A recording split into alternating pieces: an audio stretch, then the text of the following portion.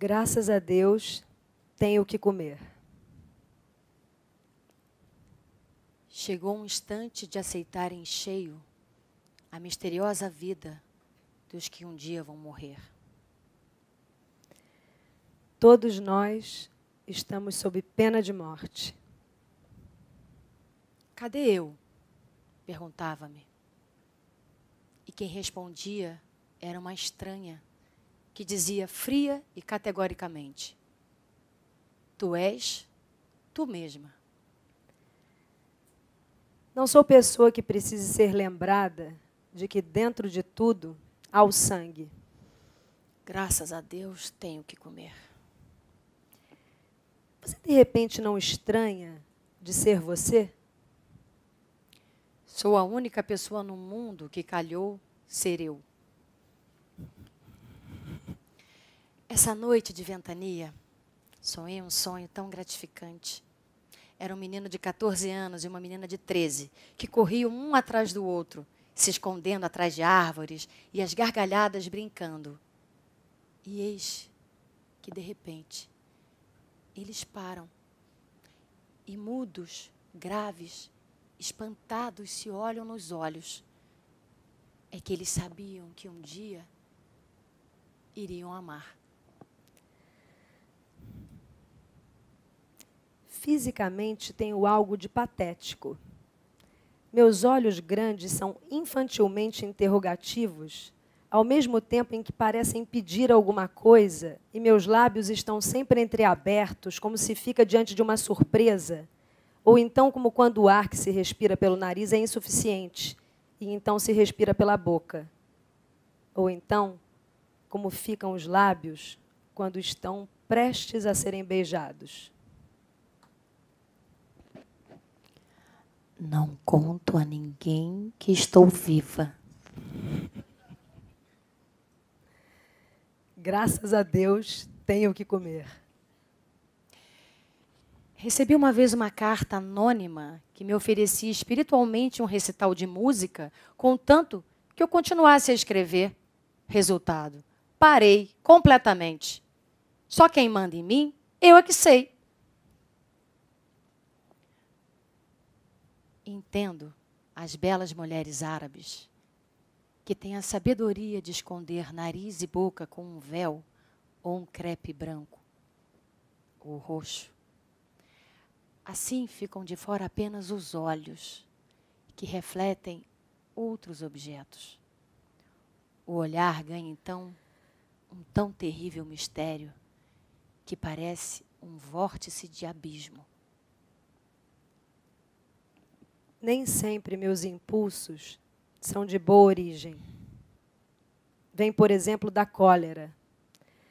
Às vezes, restringir o impulso me anula e me deprime. Às vezes, restringi-lo dá-me uma sensação de força interna. Quando o amor é grande demais, torna-se inútil. Já não é mais aplicável. E nem a pessoa amada tem a capacidade de receber tanto. A vida dos sentimentos é extremamente burguesa. Só os vira-latas me entendem. E agora vou dizer uma coisa muito séria. Preste atenção. Caco de vidro é joia rara. E o espatifo dele é som de se ouvir ajoelhado, que nem som de sinos. Oh, protegei-me de mim mesma, que me persigo. Acho que Deus não sabe que existe. Tenho quase certeza de que não. E daí vem a sua veemente força. Um dom que me comove. O dom do erro. Chamo Deus como Ele quer ser chamado. É assim. Eu abro a boca e, como modo de chamá-lo, deixo sair de mim um som. Este som é simples e tem a ver com o sopro vital o som limita-se a ser apenas o seguinte: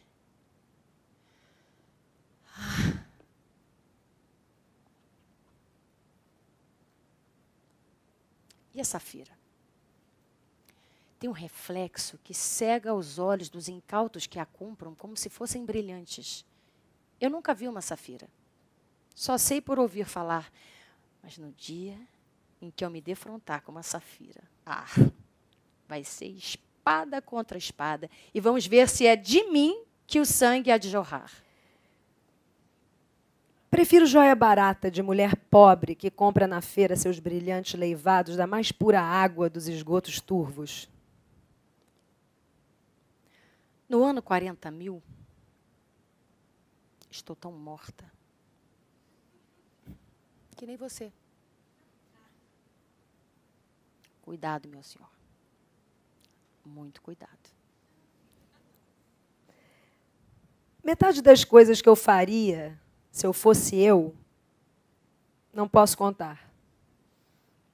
Acho, por exemplo, que por certo motivo eu terminaria presa na cadeia.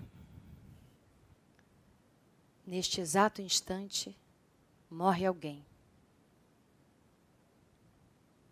Isso me perturba. Esse último suspiro. E na Irlanda, nasce um forte menino ruivo. É como se me avisassem. Eu digo bom dia ao robusto garoto. Era um dia um homem que andou.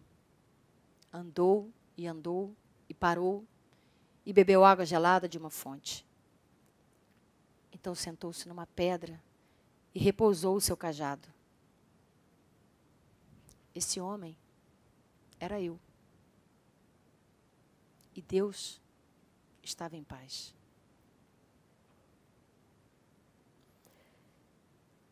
Esta noite tive um sonho dentro de um sonho. Sonhei que estava calmamente assistindo artistas trabalharem no palco. E por uma porta que não era bem fechada entraram homens com metralhadoras e mataram todos os artistas. Comecei a chorar. Não queria que eles estivessem mortos. Então os artistas se levantaram do chão e me disseram: Nós não estamos mortos na vida real, só como artistas. Fazia parte do show esse morticínio. Na vida, nós somos artistas de uma peça de teatro absurdo, escrita por um Deus absurdo. Graças a Deus, tenho o que comer. Está amanhecendo. Ouço os galos. Existir é coisa de doido. Caso de loucura. Entre os fatos, há um sussurro. E é o sussurro que me impressiona. Há os que têm e há os que não têm. É muito simples. A moça não tinha. Não tinha o quê? É apenas isso mesmo. Não tinha. Se der para me entenderem, está bem.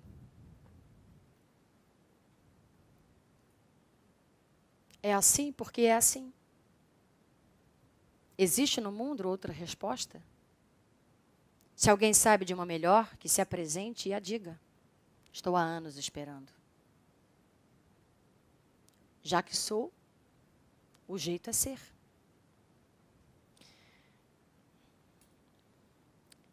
Devo dizer que ela era doida por soldado? Pois era. Quando via um, pensava com estremecimento de prazer: será que ele vai me matar?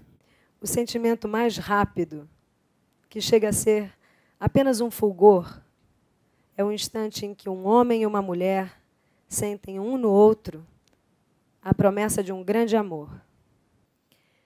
Mas quem sou eu para censurar os culpados? O pior é que é preciso perdoá-los. É necessário chegar a tal nada que, indiferentemente se ame ou não se ame o criminoso que nos mata. Os que me lerem assim, levem um soco no estômago para ver se é bom. A vida é um soco no estômago. Que não se lamentem os mortos, eles sabem o que fazem.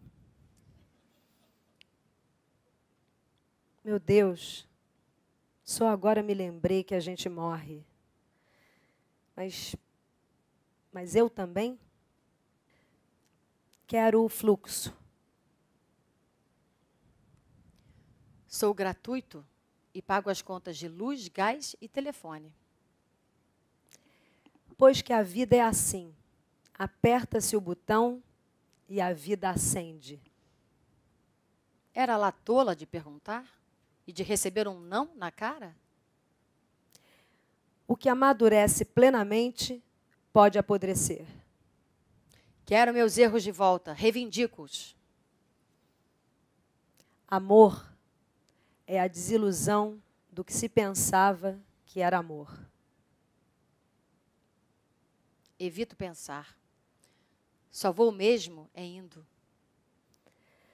Amor é finalmente a pobreza. Não caio na tolice de ser sincera.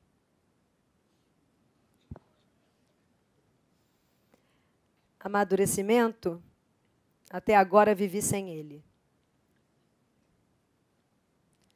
Amor é a desilusão do que se pensava que era amor. Entender o difícil não é vantagem, mas amar o que é fácil de se amar é uma grande subida na escala humana. Um meio de obter é não procurar.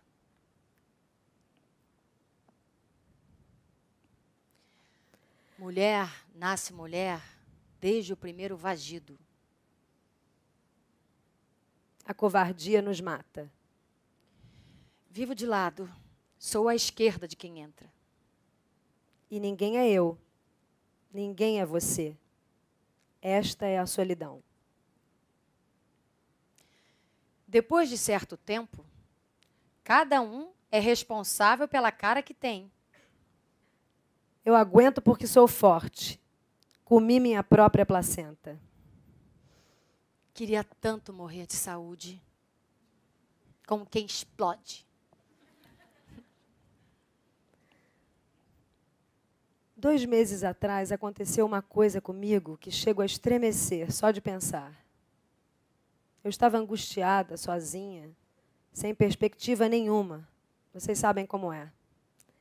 Quando de repente, sem nenhum aviso, uma chuvarada, seguida por uma ventania, começou a cair. Essa chuva súbita me liberou, liberou toda a minha energia, trouxe calma e me deixou tão relaxada que logo depois dormi profundamente, aliviada. A chuva e eu, nós duas, tivemos um relacionamento mágico. Meu desalento é igual ao que sentem milhares de pessoas.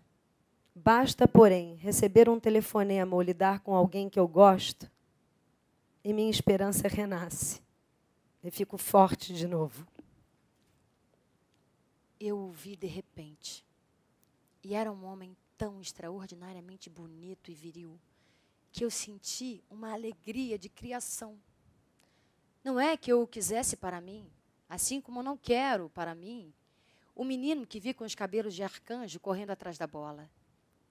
Eu queria somente olhar. O homem olhou um instante para mim e sorriu calmo. Ele sabia quanto era belo e sei que sabia que eu não o queria para mim. Sorriu porque não sentiu ameaça alguma. É que os seres excepcionais em qualquer sentido estão sujeitos a mais perigos do que o comum das pessoas. Talvez seja uma das experiências humanas e animais mais importantes. A de pedir socorro e, por pura bondade e compreensão do outro, o socorro ser dado. Talvez valha a pena ter nascido para que um dia mudamente se implore e mudamente se receba. Dá-me a tua mão desconhecida, que a vida está me doendo. E eu não sei como falar. A realidade é delicada demais. Só a realidade é delicada. minha irrealidade e minha imaginação são mais pesadas. Lembrei-me de ti quando beijara teu rosto de homem. Devagar, devagar beijara, e quando chegar o momento de beijar teus olhos, lembrei-me de que então eu havia sentido sal na minha boca e que o sal de lágrimas nos teus olhos era o meu amor por ti. Mas o que mais me havia ligado em susto de amor fora, no fundo do fundo do sal, tua substância insossa e inocente e infantil. Ao meu beijo, tua vida mais profundamente insípida me era dada. Beijar teu rosto era insosso e ocupado trabalho paciente de amor. Era mulher tecendo um homem, assim como me havias tecido neutro artesanato de vida. Se a gente é o mundo, a gente é movida por um delicado radar que guia. Amor é muito mais que amor. Amor é antes do amor ainda. É plâncton lutando e a grande neutralidade viva lutando. Ah, meu amor, não tenhas medo da carência. Ela é o nosso destino maior. Então a velha senhora quis ter sentimentos bonitos e românticos em relação à delicadeza de rosto de Roberto Carlos, mas não conseguiu. A delicadeza dele apenas a levava a um corredor escuro de sensualidade. E a danação era a lascívia. Era a fome baixa. Ela queria comer a boca de Roberto Carlos. Não era romântica. Ela era grosseira em matéria de amor.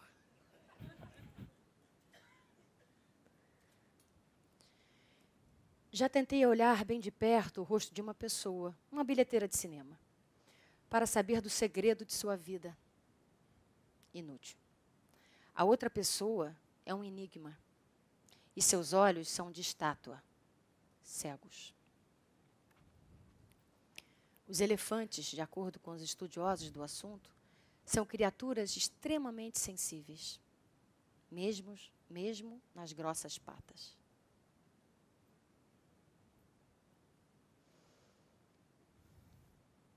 As coisas são assim mesmo. Só que nunca tínhamos contado isso aos meninos.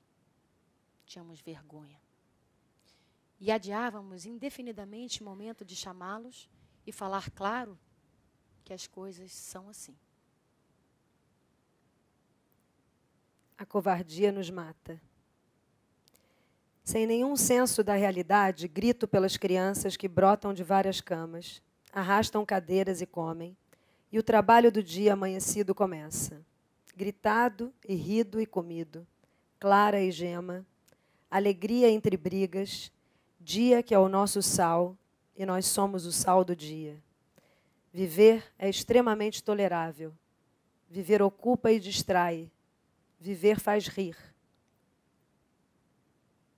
Mal não é viver. Mal é não viver. Só isso. Morrer já é outra coisa. Morrer é diferente do bom e do mal.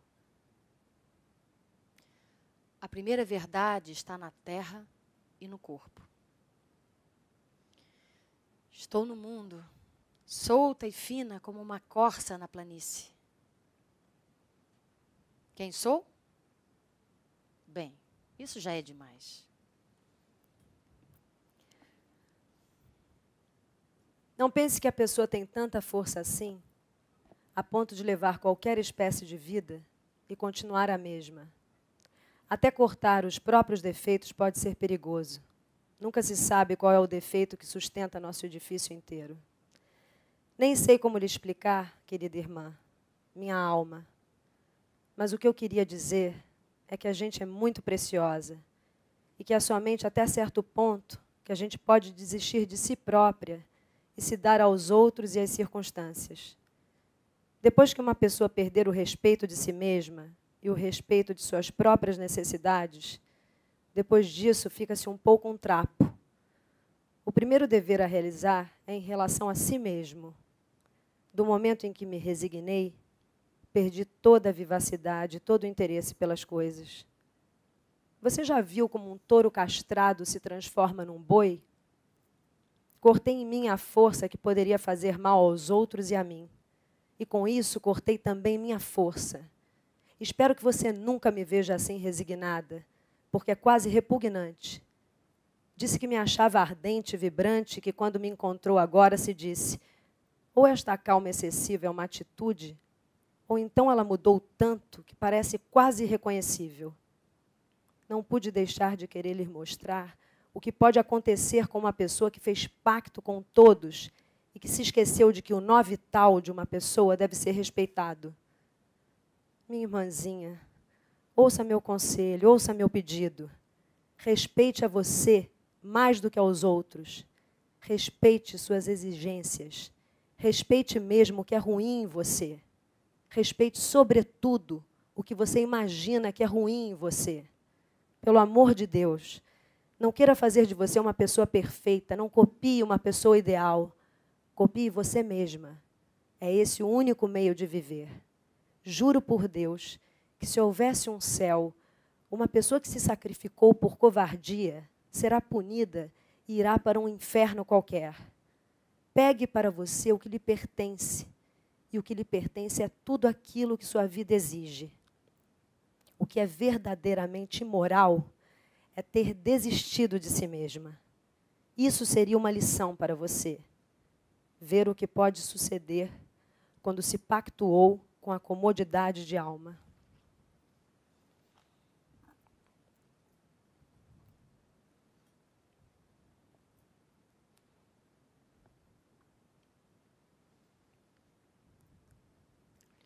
Largar é uma atitude tão áspera e agressiva que a pessoa que abrisse a boca para falar em largar deveria ser presa e mantida incomunicável. Eu mesma. É tão difícil mudar. Às vezes escorre sangue. Não posso destruir ninguém ou nada, pois a piedade me é tão forte como a ira. Amar os outros é a única salvação individual que conheço. Ninguém estará perdido se der amor e às vezes receber amor em troca. Uma das coisas mais solitárias que eu conheço é não ter a premonição. Conheço bem esse processo do mundo. Chamam-me de bondosa e, pelo menos durante algum tempo, fico atrapalhada para ser ruim. Minha gula pelo mundo, eu quis comer o mundo. E a fome com que nasci pelo leite, essa fome que se estender pelo mundo. E o mundo não se queria comível. Ele se queria comível, sim. Mas para isso exigia que eu fosse comê-lo com a humildade com que ele se dava. Morri de muitas mortes e mantê-las-ei em segredo até que a morte do corpo venha e alguém adivinhando diga: Esta, esta viveu. Eu pensava que a força é o material de que o mundo é feito. E era com o mesmo material que eu iria a ele. O sucesso é uma gafe, é uma falsa realidade. Adoro ouvir coisas que dão a medida de minha ignorância. Como vão vocês? Estão na carência ou na fartura? Há uma hora em que se deve esquecer a própria compreensão humana e tomar um partido, mesmo errado. Não podia me dar ao luxo de pedir. Lembrei-me de todas as vezes em que, por ter tido a doçura de pedir, não me deram. Ser os outros para conhecer o que não era eu. Minha experiência maior seria ser o outro dos outros. E o outro dos outros era eu. Um anúncio em negrito. precisa-se de alguém, homem ou mulher, que ajude uma pessoa a ficar contente, porque esta está tão contente que não pode ficar sozinha com a alegria e precisa reparti-la.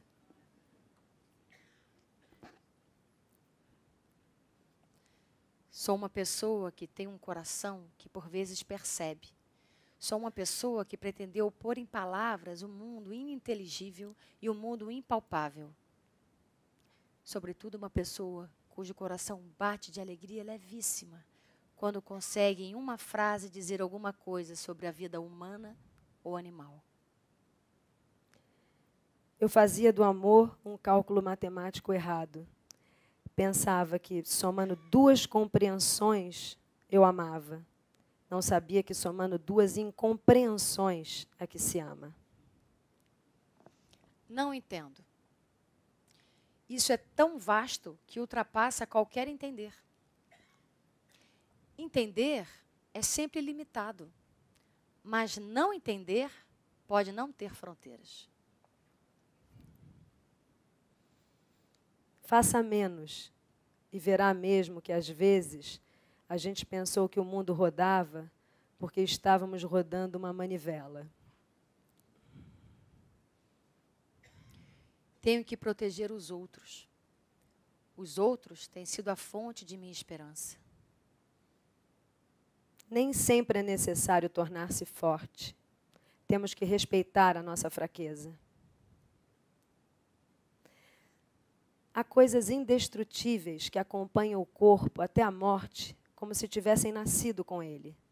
E uma delas é o que se criou entre um homem e uma mulher que viveram juntos certos momentos. Como doido compreendo o que é perigoso compreender, e só como doido é que sinto o amor profundo. Eu era o que sou mesmo uma tímida arrojada. Eu sou tímida, mas me lanço. Perguntei a um médico se é normal ter tantas ideias ao mesmo tempo. E ele me disse que todo mundo tem.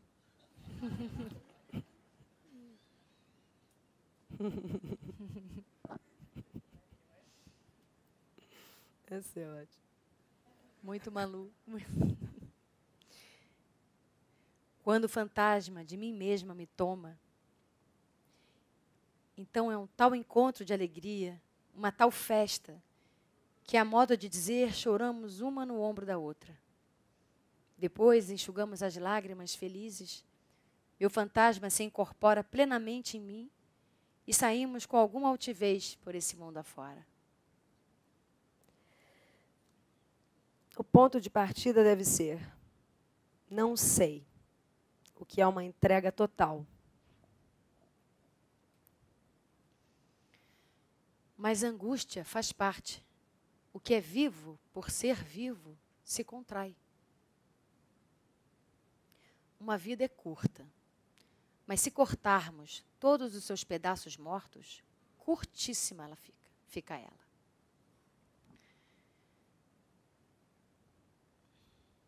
Muita coisa inútil na vida da gente serve como esse táxi para nos transportar de um ponto útil a outro. Graças a Deus tenho o que comer.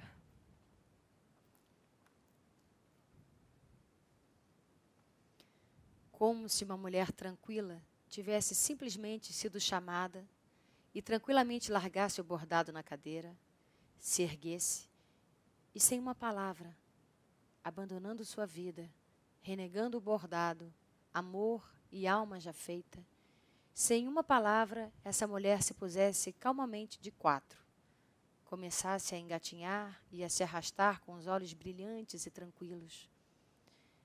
É que a vida anterior a reclamara, e ela fora. Amizade é matéria de salvação.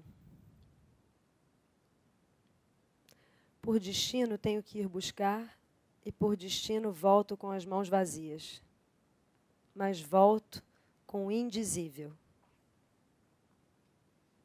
Chego à altura de poder cair, escolho, estremeço e desisto.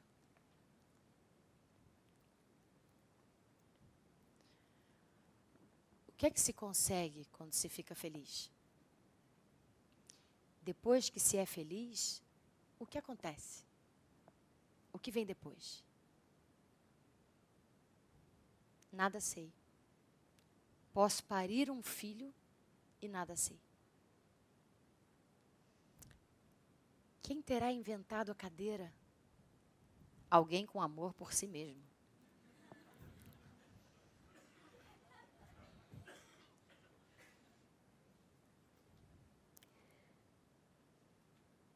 A outra mão dele, a livre, está ao alcance dela. Ela sabe e não a toma. Quer a mão dele, sabe que quer e não a toma. Tem exatamente o que precisa. Pode ter. Ela sabe que tudo vai acabar. Pega a mão livre do homem e, ao prendê-la nas suas, ela doce, arde, arde, flameja Tenho que viver aos poucos. Não dá para viver tudo de uma vez.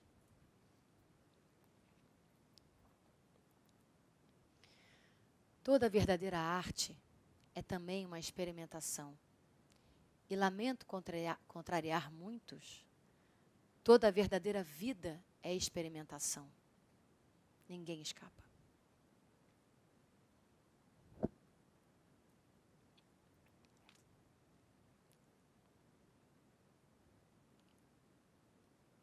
Eu me abri e você de mim nasceu. Um dia eu me abri e você nasceu para você mesmo. Quanto ouro correu e quanto rico sangue se derramou. Mas valeu a pena.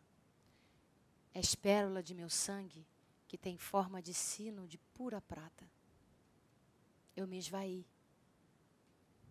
e tu nasceste e me apaguei para que tu tivesses a liberdade de um Deus. És pagão, mas tens a bênção da mãe.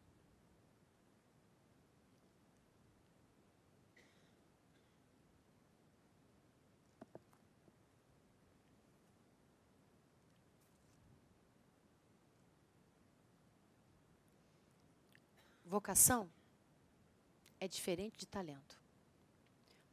Pode-se ter vocação e não ter talento. Isto é, pode-se ser chamado e não saber como ir. Sou um homem que tem mais dinheiro do que os que passam fome, o que faz de mim, de algum modo, um desonesto.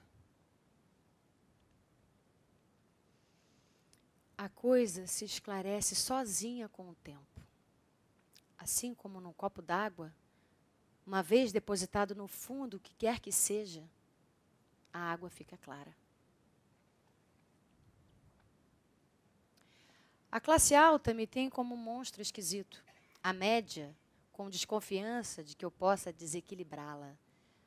A classe baixa nunca vem a mim.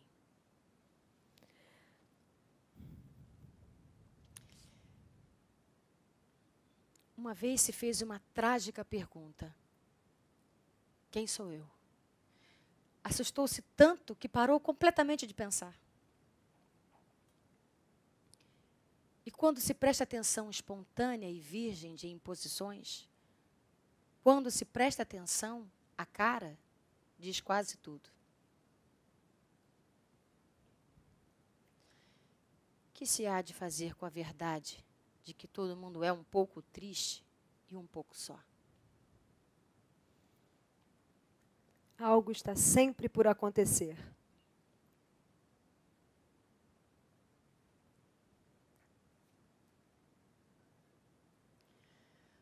Como traduzir o silêncio do encontro real entre nós dois? Dificílimo contar. Olhei para você fixamente por uns instantes. Tais momentos são meu segredo. Houve o que se chama de comunhão perfeita. Eu chamo isto de estado agudo de felicidade. Considero mágico o sol inexplicável que aquece todo o meu corpo. Mágico também é o fato de termos inventado Deus e que, por milagre, ele existe.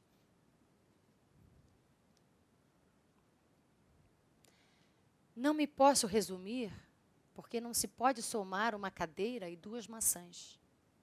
Eu sou uma cadeira e duas maçãs, e não me somo.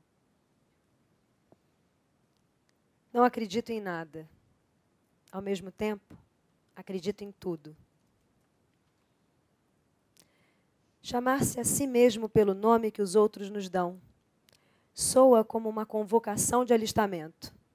E do momento em que eu mesma me chamei, senti-me com algum encanto inesperadamente alistada.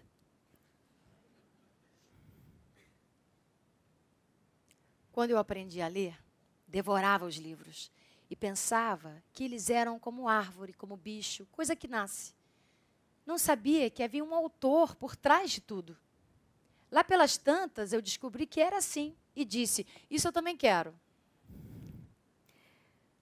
Nunca esquecer que a palavra é fruto da palavra. A palavra tem que se parecer com a palavra. Atingi-la é o meu primeiro dever para comigo. E a palavra não pode ser enfeitada e artisticamente vã. Tem que ser apenas ela. Não é um recado de ideias que te transmito, e sim uma instintiva volúpia daquilo que está escondido na natureza e que adivinho. E esta é uma festa de palavras. Vamos não morrer como desafio?